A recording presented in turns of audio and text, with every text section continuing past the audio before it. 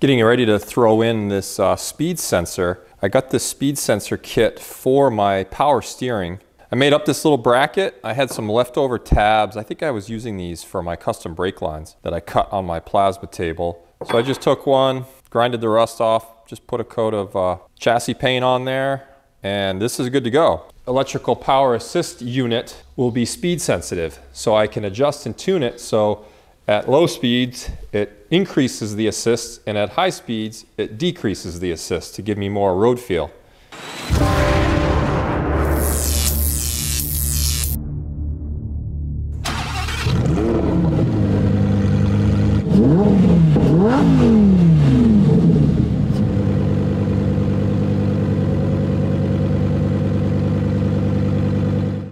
Hi everyone and welcome back to my channel. My name is Dan Dulac and I am building a V10 powered Ultima Evolution convertible. This is episode number 30. If you missed any of the previous 29 episodes, be sure to go back into my channel and check those out. There's been a lot going on with this build. On today's episode, I'm gonna go back to the rear in the engine compartment. As I'm waiting for my ECUs to come back from the tuner, which I still haven't gotten yet, and the drive shafts, the custom rear drive shaft axles, while I'm waiting for those, I decided to go back and look at my intake track. I couldn't leave well enough alone and I'm gonna modify the intake system yet again. I'm gonna simplify it a little bit, remove some of the silicone hoses, which will remove a lot more clamps. It'll look a lot cleaner. And I'm gonna go to a true three and a half inch diameter for the entire intake track from throttle body all the way to the NACA duct. That's gonna require some customization of the cylindrical air boxes that I have. I've got to widen those from three inch to three and a half. I also have to find or build or make some three and a half inch NACA ducts. I haven't been able to find any online, so I decided I'll just make myself a pair of NACA ducts with three and a half inch uh, inlet. That in and of itself has been a journey. I thought I would go ahead and design a NACA duct, 3D print a template or plug that I can then lay up some fiberglass or carbon fiber. But then one of my viewers, one of you actually recommended I take a look at a relatively new 3D printer filament that's carbon fiber infused nylon. And I actually did a bunch of research. I purchased some, I've been printing with it, and this stuff is amazing. This is the actual end result. I actually built a three and a half inch NACA myself. So I'm gonna show you how I did that, how I designed it, really pretty straightforward. Without further ado, let's jump right in. Let me explain to you what I'm gonna do. So first of all, the throttle body here is three and a half inches diameter and then kind of this accordion tube. I've got a three and a half inch, the MAF housing is located in this aluminum tube. Then I've got this silicone elbow that goes from three and a half down to three.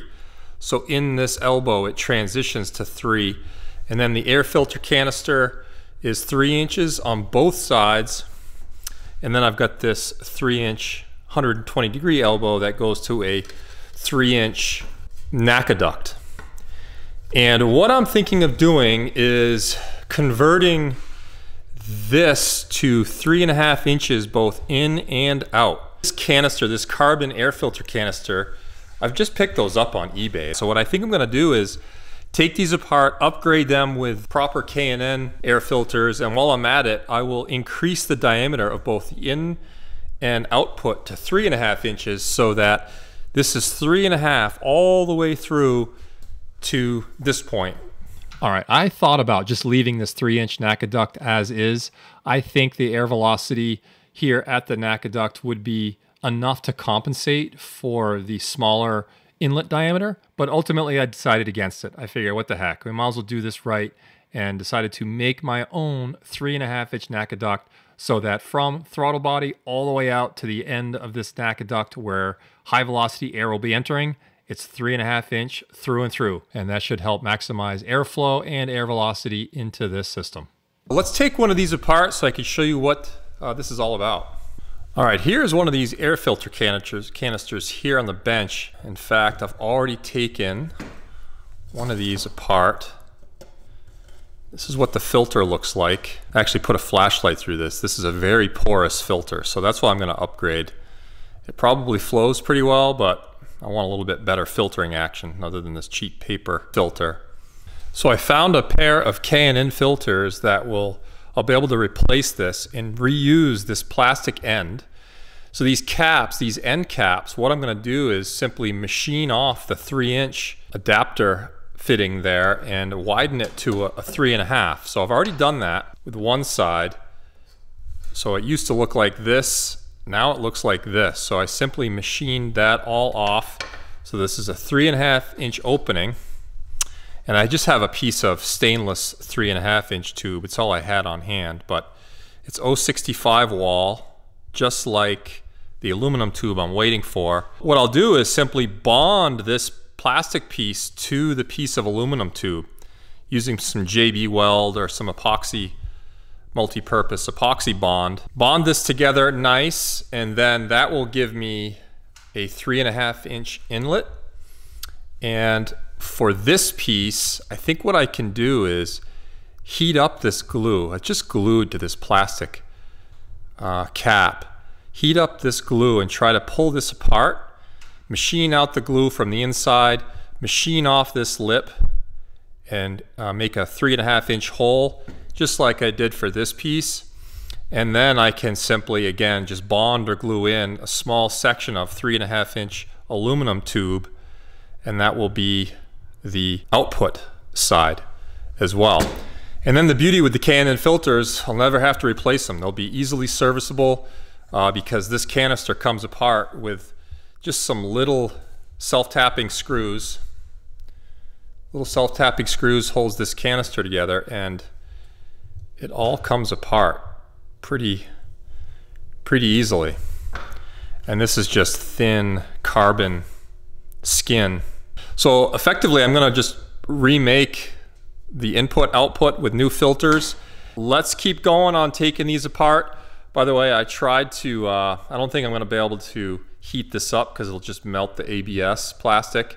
So I think I'll just have to cut, cut this out the best I can with some shears and then I'll just machine out the glue there. It's gonna make a mess, I'm sure, but gotta do what you gotta do. So let's get to it.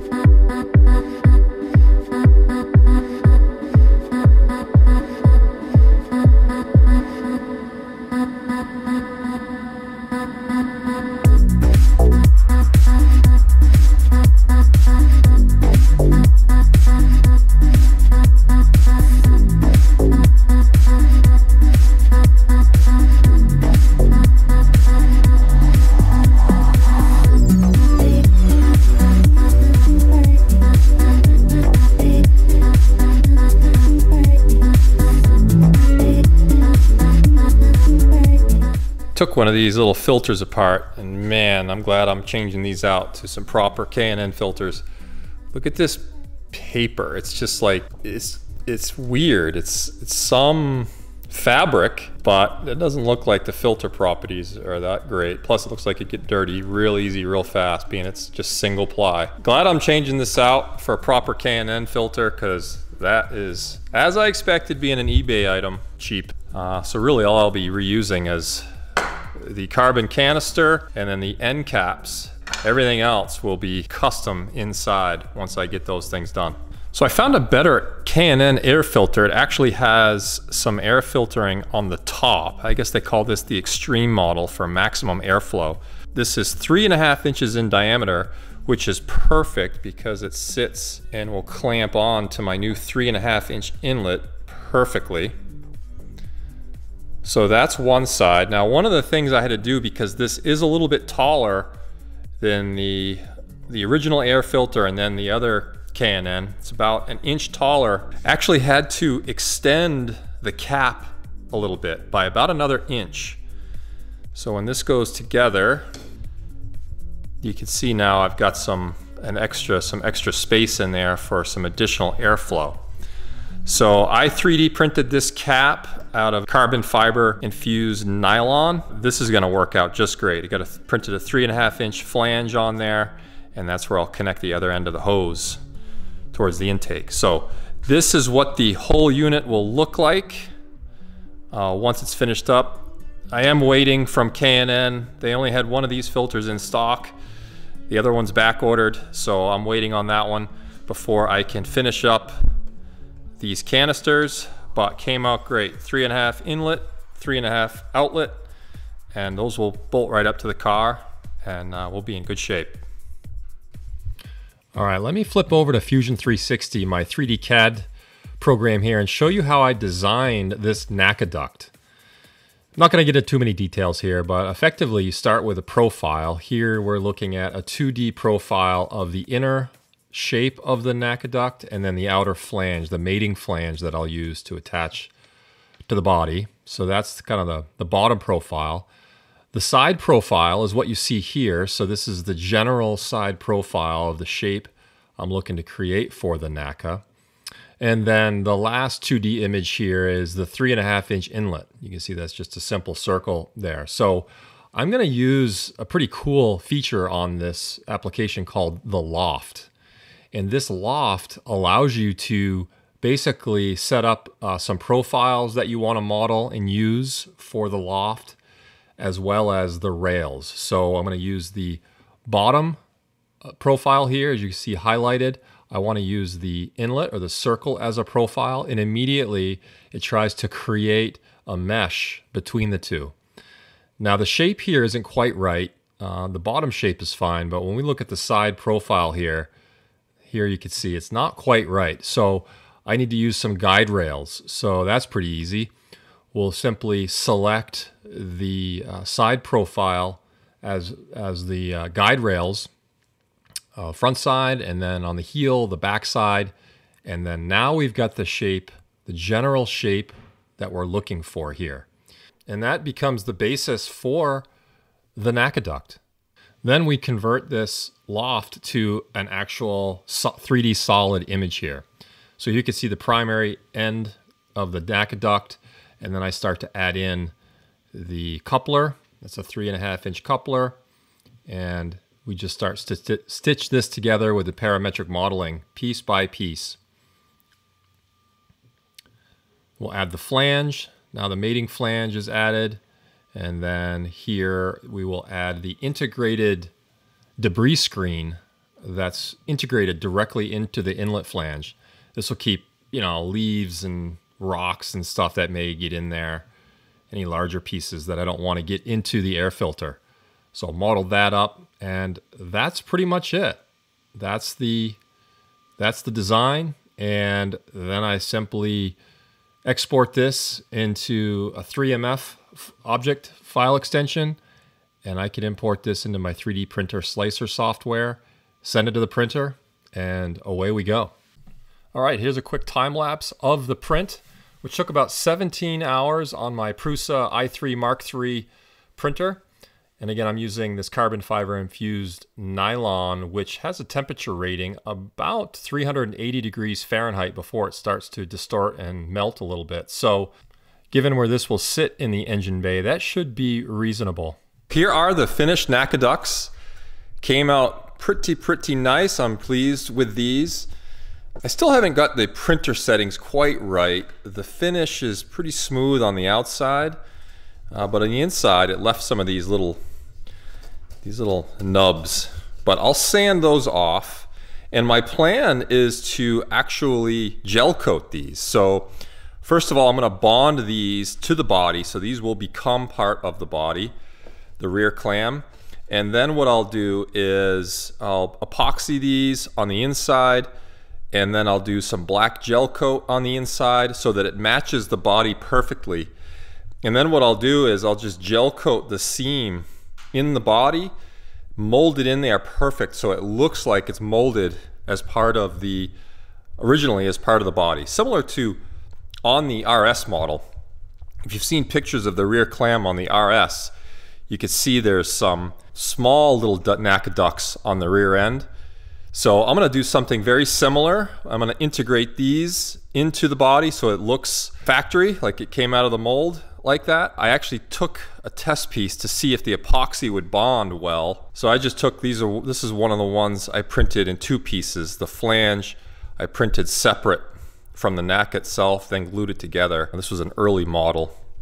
But anyway, I tested to make sure that the epoxy would bond to this carbon infused nylon, and it does. It bonds very well. So when I end up putting some epoxy and then some gel, black gel coat on here, that will further strengthen this piece. I'll bond this to the body, but then I'll do a couple layers of fiberglass layup just to integrate it directly in to the rear clam. Here's the original carbon fiber NACA duct. And as you can see, the footprint is pretty close, identical. The only difference is is the intake now goes from three to three and a half. And then the other thing I did is the angle here is 30 degrees versus the, this is more like 45 on the original carbon NACA duct. So I went a little bit less aggressive of a of an exit angle on the new printed NACA. Uh, that'll give me some more securing options. So I still haven't figured out how I'm going to uh, attach the hose from the canister to the NACA once this is on the body.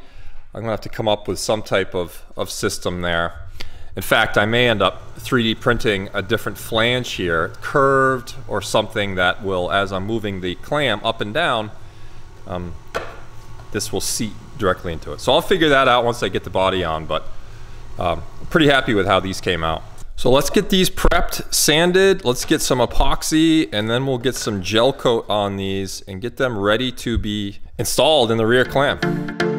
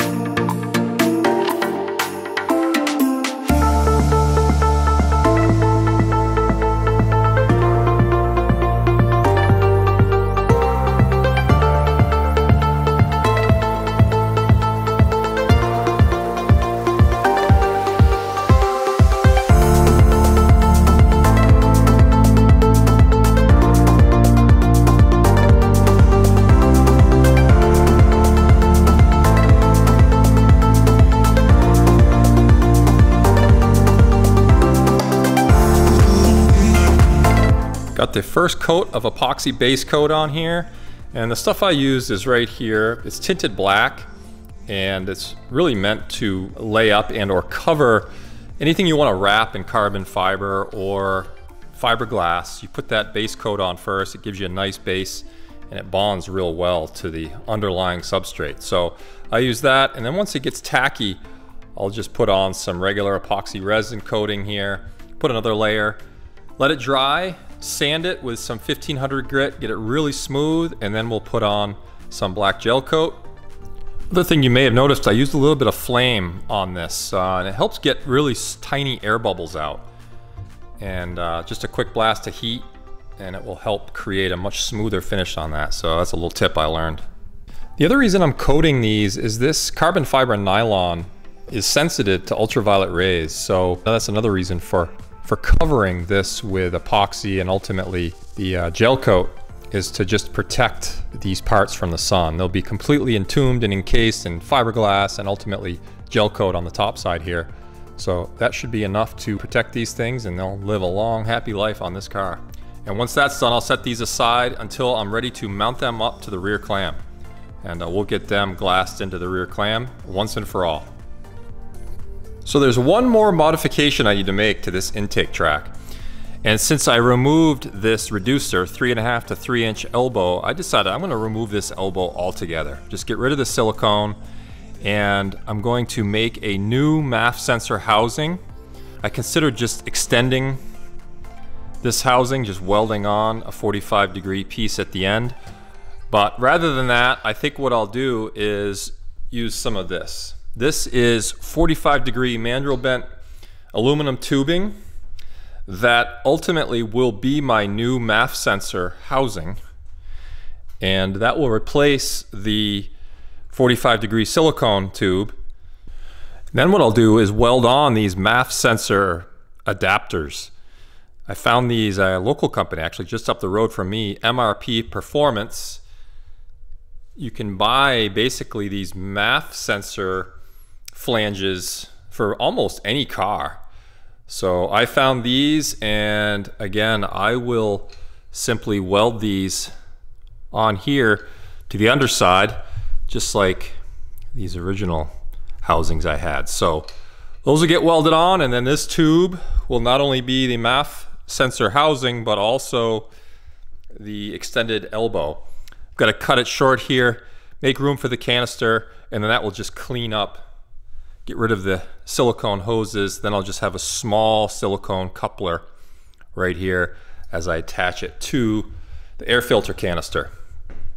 So that is the plan. That should clean this up a lot. And then I will, again, I'll get these wrinkle coated to match the intake plenum, similar to what I did on this shorter piece over here. This will be all wrinkle coated. So very good. Let's get to it.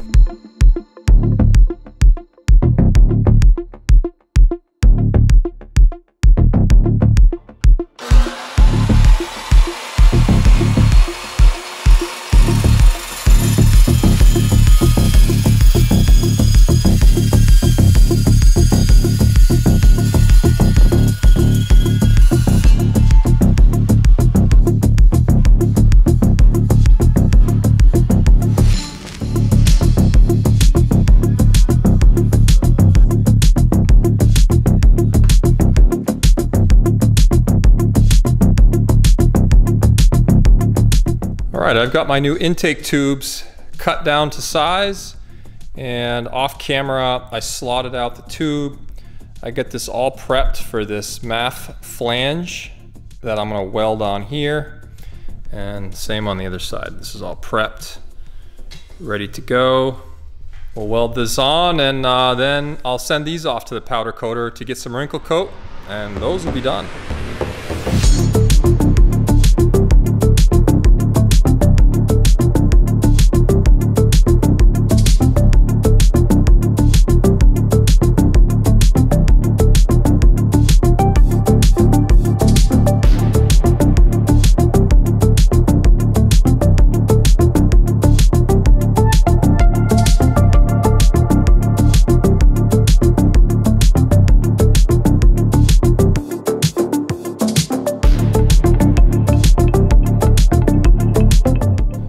Okay, these are all welded up, ready to go. Not too bad. Aluminum welding's a little, little tough to be had, but I can see a few dimes in there. We'll take it. And again, these will mostly be hidden underneath. They're also gonna get coated, so it's gonna cover up the weld bead. These MAF sensors simply go in like this. A couple of M3 screws in there, and that's all she wrote. Getting ready to throw in this uh, speed sensor. So we're gonna mount this up in the car. I've got some new hardware. And on the car, show you where I'm gonna mount this. So there's, there's a hole already in the upright, right there, ready to go, an M8 hole. I'm gonna use that hole to mount the speed sensor and the pickup is gonna be right on the head of these bolts on the two-piece brake rotors. So those, those nuts and bolts hold the rotor hat in place and I'm gonna use the ends of the bolts as the target point for the speed sensor. And then this electrical power assist unit will be speed sensitive. So let's get this speed sensor installed and get that part done.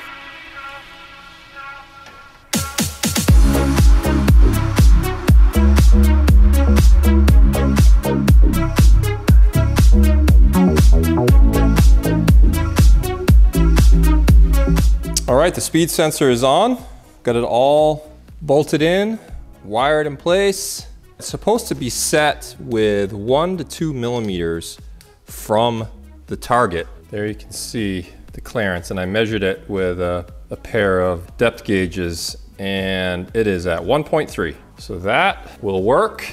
And then I've just got the wire run up along the brake line and then into the cabin. So sweet. So that'll be that and we're on to the next thing.